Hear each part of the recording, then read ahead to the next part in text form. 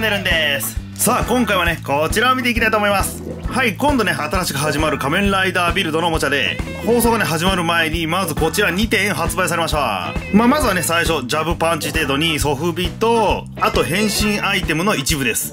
で今回はねまずこちらを紹介させていただく前にちょっとね新しいベルトのサンプルでいろんな音声をね鳴らしてきたんでそちらをまずねご覧いただけたらと思います。ちなみにね音声を鳴らしたボトルはこちらのゴリラフルボトルとダイヤモンドフルボトルではなくてラビットフルボトルタンクフルボトル掃除機フルボトルという別のね3種類の音声を鳴らしてきました。ちょっといろんな組み合わせもね試してきたんでそれではねとりあえずはこちらをご覧ください。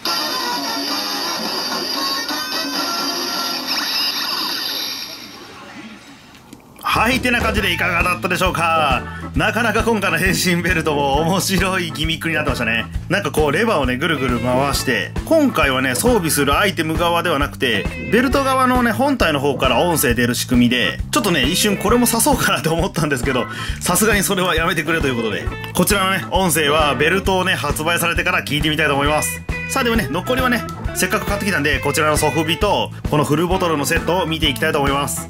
はいまずはソフビの方からいきましょう。これがね新しいソフビのタグですね。ライダーヒーローシリーズってなっていてで1番の仮面ライダービルドラビットタンクフォーム、まあ、その名前の通りここに書いてあるこれは仮面のイラストだと思うんですけどタンクとラビットになってますね。で背面はこんな感じで普通の注意書きです。さあそれではねソフビの方を見ていきましょう。いつもこれの取り方があんまり分かってないんですけどいって突っ込んじゃってます。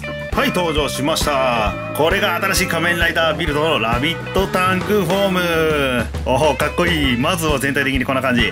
もうね結構デザインとかねテレビとかでいろいろ出てるんですけどまずはね多分これが基本形になるんですかね。基本フォームですかね。ベタなカラーなんですけどこの赤とね青がねすごくかっこいいカラーになってますね。でちょっとねもういろんなところがねちょっと稲妻のようなデザインかな。ちょっとこうギザギザとした感じ。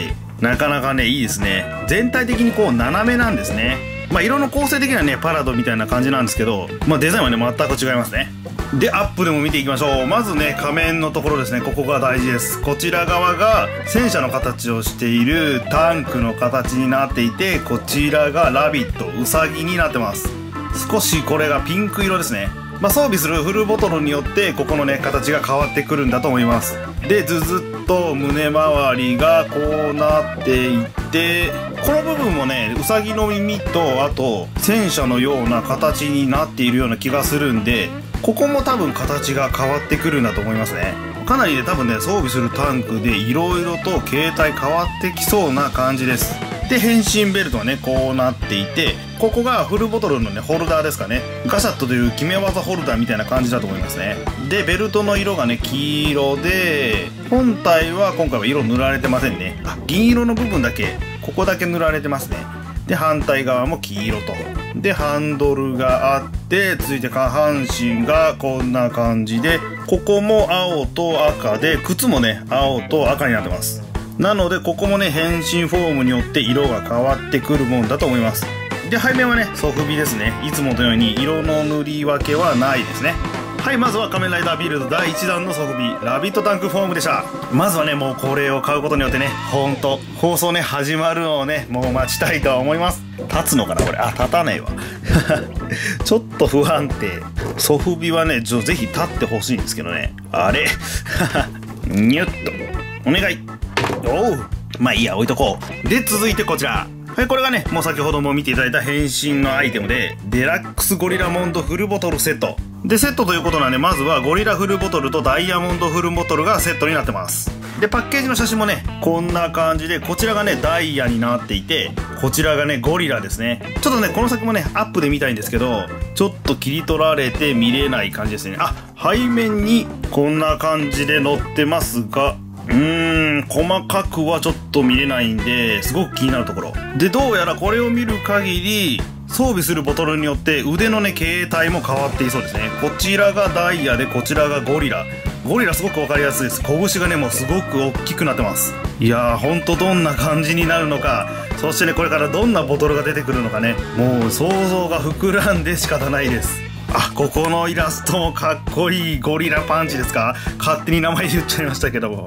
すごい。本当もういろんな必殺技もすごく気になるところ。でもう一度背面でここにはね遊び方が書いてあってまあ音声もねまだ聞けてないんですけどゴリラダイヤモンドベストマッチ。で「Are you ready?」という掛け声とともに輝きのデストロイヤーゴリラモンドイエーイ!みたいなねサンシャイン池崎みたいなね叫び声が出るんですよね。で刺すボトルによってここのねこの回転部分のライトの色が変わると。いやほんとねもうどんな感じになるかすごく楽しみです。で順番はあれなんですけども箱の側面には遊び方が書いてあって蓋が回転振ると中身が動く。で反対側にはフルボトルで遊びが広がるということでまあこれからねいろんな武器とかが発売されるんでそれとの連携のことが書いてあります。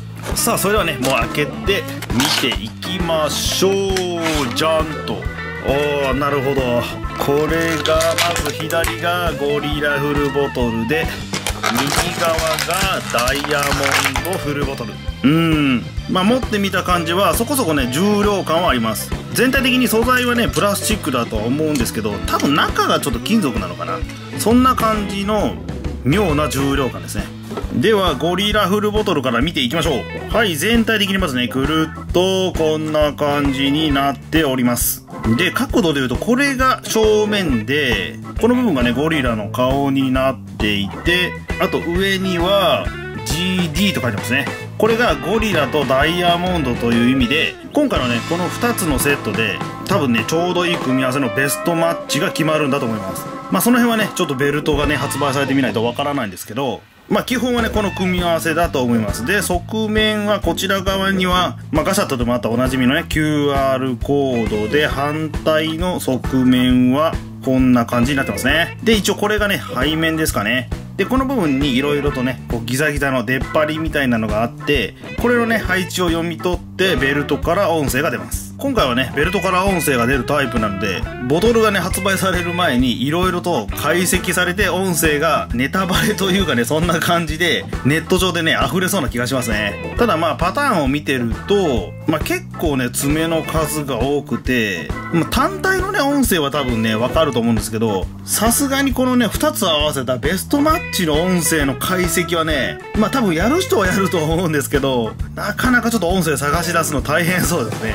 でも絶対多分解析する人は出てくるんでちょっと解析班にねその辺はお任せしましょう。でこれのね遊び方は、まあ、ベルトに装着したり武器に装着したりあとはこの上の部分が回転してあとこのね中身がまあボトルなんですけど液体ではないですね。プラスチックかちょっと重りが入ってるんですかね。振るとこんな感じでちょっと分かりにくいですかね。中身が動くようになってます。ちなみにこう角度変えるとここにね中身の先が出てきてますね。なのでこうして持つとちょっとなんか指に触れる感じがしてなんか感覚的に楽しいかなと。はいこんな感じでねまずはゴリラフルボトルでした。では続いてダイヤモンドフルボトル。ちょっとねまずは軽く比べてみましょう。まずここの正面はダイヤになっていてカラーリングはブルーです。でこの上下のグレーの部分のパーツの造形はゴリラと全く同じですね。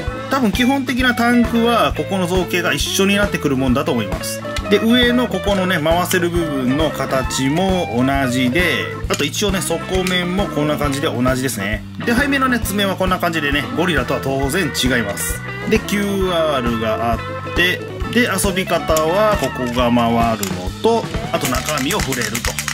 一応中身の感じはこんな感じです。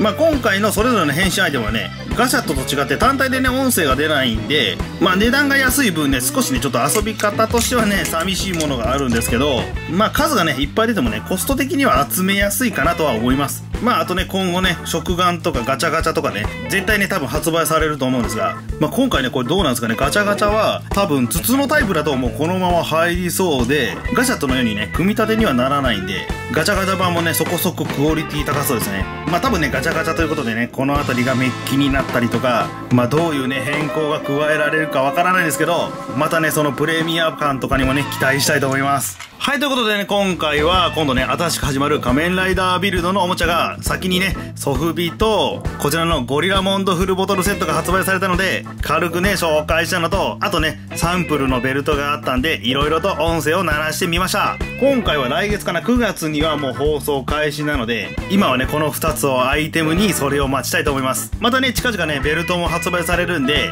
ぜひね、そちらの方も買ってね、色々見ていきたいと思うんで、そちらの動画の方もね、よろしくお願いいたします。ではでは今回はこの辺りでおもチャンネルのタルでした。皆様のチャンネル登録やコメント評価どんどんお待ちしておりますのでよろしくお願いいたします。あと Twitter やインスタもやってるんでね、そちらの方もぜひよろしくお願いいたします。ではでは最後までご視聴いただきましてありがとうございました。また他の動画でお会いしましょう。ではごきげんよう。さよなら。バイバイ。